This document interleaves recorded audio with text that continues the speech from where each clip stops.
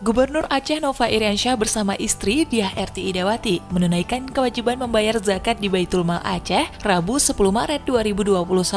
Usai menerima zakat dari orang nomor satu Aceh itu, Amil kemudian berdoa agar rezeki gubernur lancar dan berkah.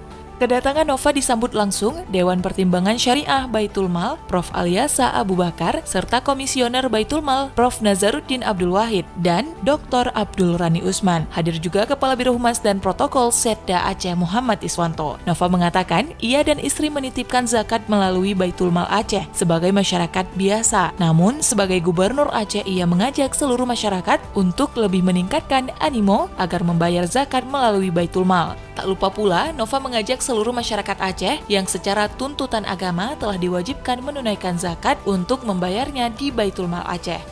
Sementara itu, Ketua Komisi Baitul Mal Aceh, Prof. Nazaruddin Abdul Wahid mengapresiasi Gubernur Aceh yang telah mempercayai kewajiban zakatnya di lembaga keistimewaan tersebut. Pihaknya tidak melihat dari sisi jumlah yang diserahkan Gubernur dan istri, melainkan keikhlasan hati. Motivasi Gubernur menyampaikan zakat di Baitul Mal, kata Profesor Nazaruddin, diharapkan menjadi pemicu bagi para muzaki lainnya untuk membayar zakat.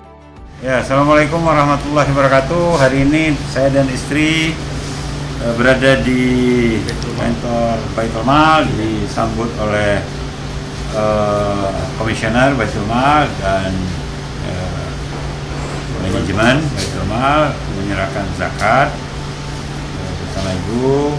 Uh, tentu saya dalam hal ini sebagai warga masyarakat biasa.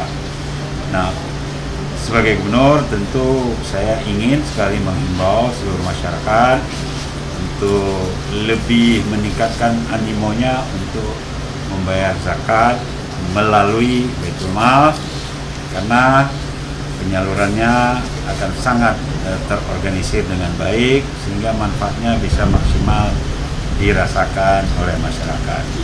Mari berzakat melalui Baitul Mal.